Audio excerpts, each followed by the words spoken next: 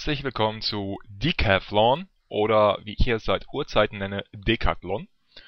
Hört sich für meine Ohren besser an. Ähm, Decathlon ist 1983 erschienen, kam von Activision und ähm, ich habe es damals sehr gerne auf dem Atari 2600 gezockt.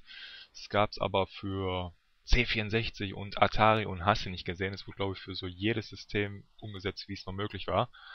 Wir steigen einfach mal ein. Ich wollte euch mal alle 10 Disziplinen zeigen praktisch ein Decathlon, ein Zehnkampf spielen.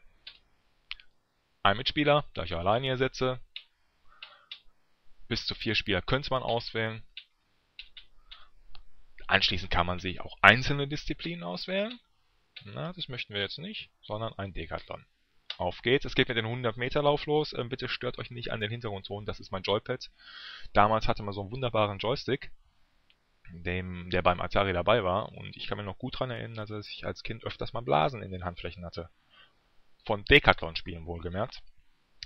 Äh, fangen wir jetzt einfach mal an. Links, rechts, so schnell wie möglich und damit ins Ziel kommen. Ja, der Start war natürlich hervorragend, aber ich merke schon wieder, dass es doch relativ anstrengend ist. Dabei habe ich noch gar nicht richtig angefangen. 11.32, keine Bombenzeit, deswegen auch nur 696 Punkte. Die zweite Disziplin.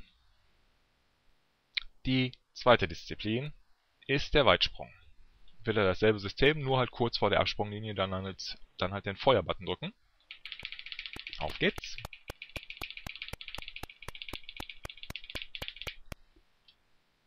Ja, 5,9 Meter ist jetzt auch nicht so überragend.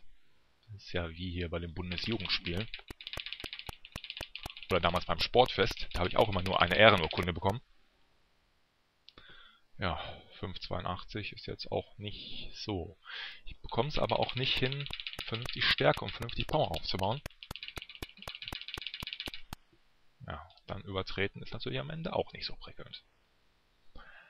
1291 Punkte nach zwei Disziplinen, damit sind wir, glaube ich, eher nicht auf Medaillenkurs. Aber es kommen noch ein paar Disziplinen, die ich eigentlich recht gut beherrsche.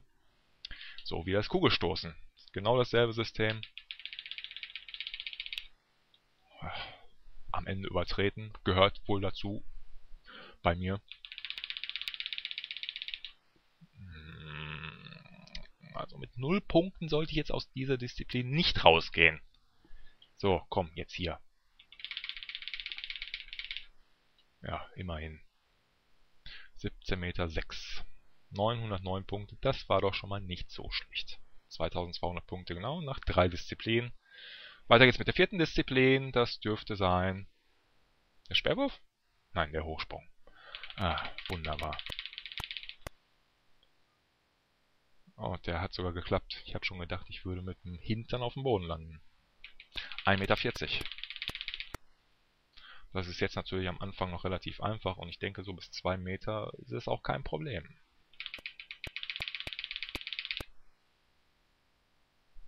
Wenn man es richtig macht, wohl bemerkt.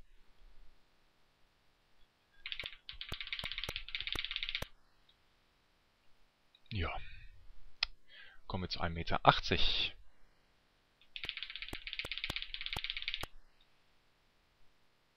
Auch das ohne Probleme. Und jetzt mit 2 Metern geht es so langsam los. Da muss man dann doch schon mal schauen, dass man den richtigen Absprungpunkt erwischt. Jawohl.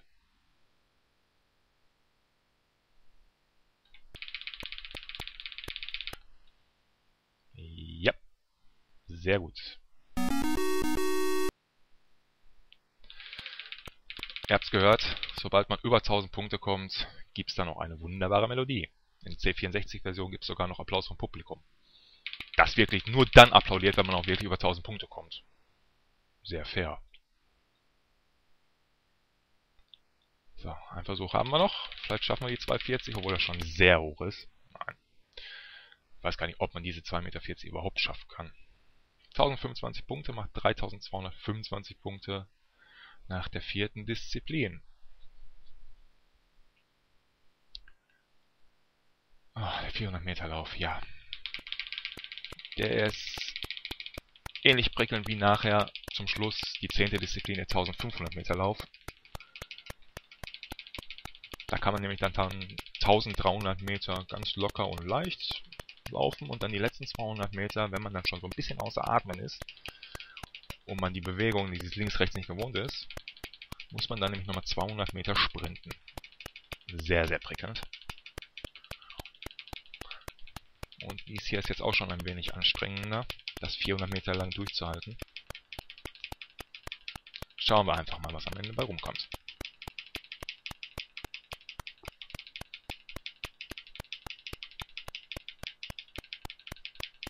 Warum meine Figur keine Schuhe trägt, weiß ich bis heute nicht.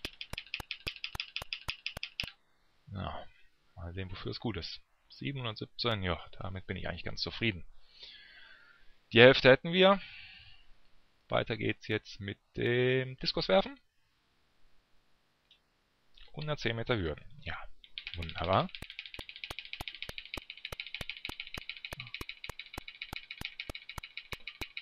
obwohl, es geht doch eigentlich. Noch keine Hürde umgerissen. Da habe ich schon Schlimmeres erlebt. Ja, ist in Ordnung. Müsste jetzt aber das Diskuswerfen kommen. Ja, komm. Ja, auf jetzt. Ja, ähnlich wie beim Kugelstoßen wieder hervorragend. Gut, man braucht natürlich nur einen guten Versuch, anstatt drei mittelmäßige, aber den muss man erstmal hinbekommen. Ja, so nicht. Null Punkte in dieser Disziplin, das heißt, ich bin von jeglichen Medaillenplätzen weit, weit entfernt. Medaillenplätze war wie folgt. Man konnte damals an Atari, als das Spiel rauskam, ähm, ein Foto machen von seinem Bildschirm. War man über 8000 Punkte, bekam man einen bronzenen Aufnäher, über 9000 Punkte, glaube ich, einen silbernen Aufnäher und, glaube ich, ab 10.000 Punkte einen goldenen Aufnäher. Bekam man dazu gesteckt, so war das damals, ja. Stabhochsprung.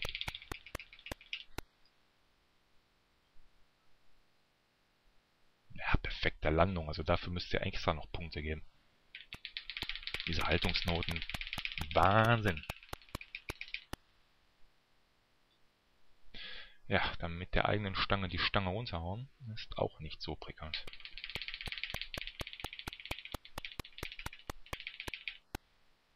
Hm, hm, ja. Obwohl jetzt ist es eigentlich egal, wo ich gerade das Diskuswerfen versaut habe macht das hier jetzt auch nichts mehr.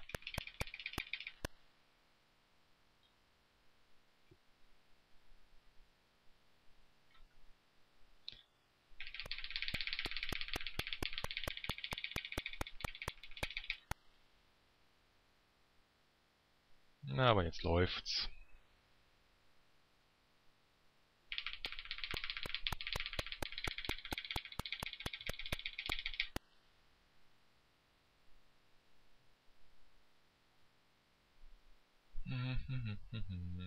Stabhochspringen. Eine Disziplin, die ich noch nie gemacht habe. Weder hier noch bei Summer Games oder irgendwelchen anderen Sporttiteln, die über die Jahre erschienen. Ich finde Stabhochsprung einfach unglaublich langweilig. Einfach nur langweilig.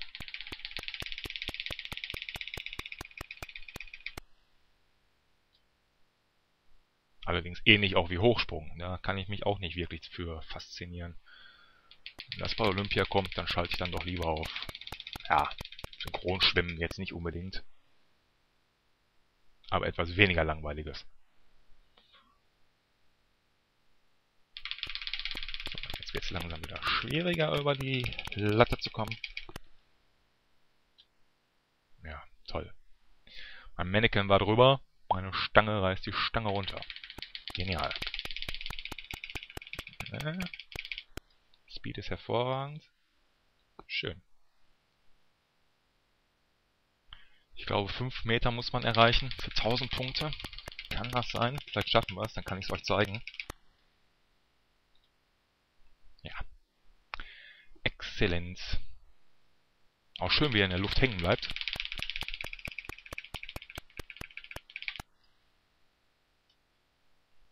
Sehr schön. 5 Meter müssen es sein für 1000 Punkte, richtig.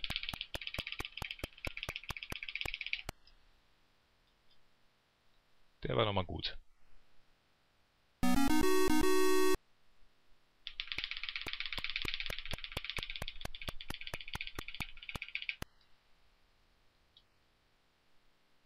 Hm, bisschen mehr Schwung. Dann könnte ich da vielleicht noch rüberkommen.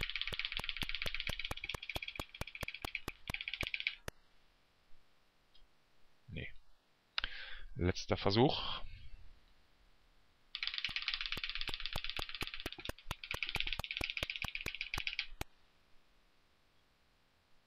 Sauber.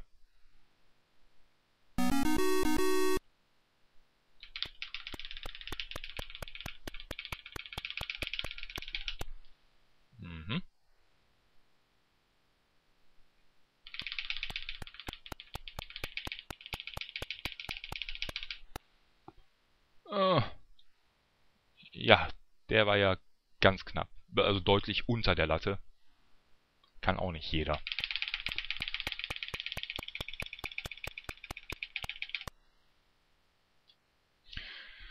Gut, 5,20 Meter. Punktzahl ganz ordentlich. Jetzt müsste Sperrwerfen kommen.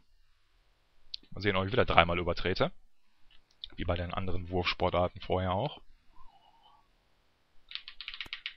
Auf jetzt.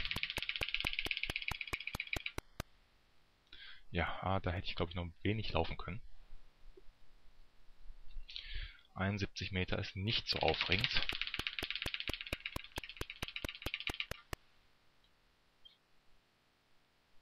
Der geht ein wenig weiter. Aber es reicht noch nicht für die 1000 Punkte. Ich glaube, für die 1000 Punkte müssen wir die 80 Meter Marke erreichen. Los, komm, komm, komm, komm, komm. Das könnte eventuell mal reichen. Ja, sehr schön. Aber es reicht natürlich nicht für 1000 Punkte. Toll. Na gut. 1500 Meter, die letzte Disziplin.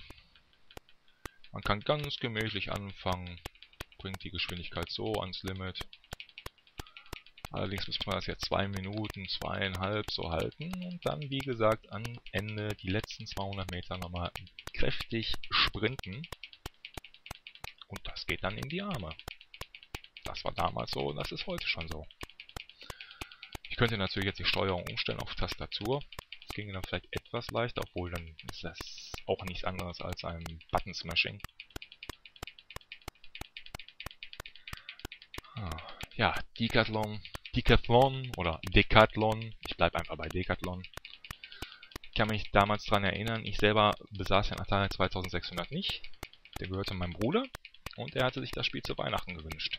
Ja, das hat er dann auch an Heiligabend bekommen. Und auf einmal waren die Olympischen Sommerspiele mitten im Winter, Heiligabend bei uns zu Hause auf dem Fernseher. Es war ein Heidenspaß für die ganze Familie. Und wie gesagt, in den nächsten Tagen hatten wir alle Blasen an den Fingern. Zumindest ich und mein Bruder. Vom Decathlon spielen. Ähm, weil man ganz einfach, ähm, der C64, der Quatsch, der Atari 2600 Joystick war lang stielförmig und man hielt den mit der linken Hand fest unten und mit der rechten Hand, die setzte man oben auf, sodass man wirklich nur die Handfläche mit der Spitze oben berührte. Ja, und dann legte man los. Und dann könnt ihr euch natürlich vorstellen, auf der Jagd nach Rekorden, dass man da letztendlich doch sehr viel Kraft aufgewendet hat, sehr oft und sehr lange gespielt hat. Dementsprechend natürlich, dass die Blasen nicht ausblieben. Ganz klar.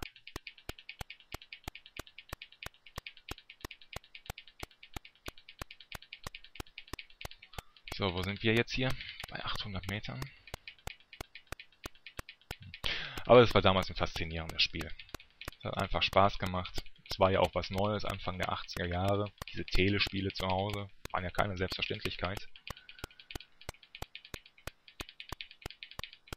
Tja, dann hatte man noch diese Verpackung, diese Originalverpackung damals mit diesen wunderbaren ähm, Screenshots vorne drauf, beziehungsweise hinten drauf. Vorne war ja immer ein tolles Cover drauf.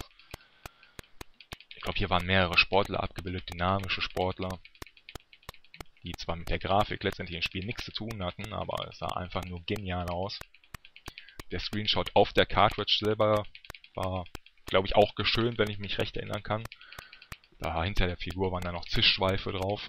Die seht ihr hier natürlich auch nicht, was nicht daran liegt, dass ich so langsam bin. Ja, das waren die Pioniere der Computerspielzeit damals. Ach, Da hat's noch Spaß gemacht. Da kam nicht jedes Jahr derselbe Titel raus mit einer anderen Jahreszahl am Ende. Ich bin jetzt schon über 15 Minuten hier in dem Video. Mal sehen, wie ich das hochkriege bei YouTube. Wahrscheinlich gar nicht. so, und jetzt die letzten 200 Meter Sprint. Ihr seht, die Anzeige geht runter und so richtig in den Keller. Und jetzt wird es nochmal richtig anstrengend. Oh, Kerl in der Kiste. Obwohl, es könnte eine gute Zeit werden. Komm, 100 Meter schaffst du jetzt noch. Morgen habe ich es wieder in der Schulter. Mittlerweile bin ich ein alter Mann, ich kann das nicht mehr so verpacken. Oh, 3 Minuten 41, 2. Ja, fast 1000 Punkte immerhin.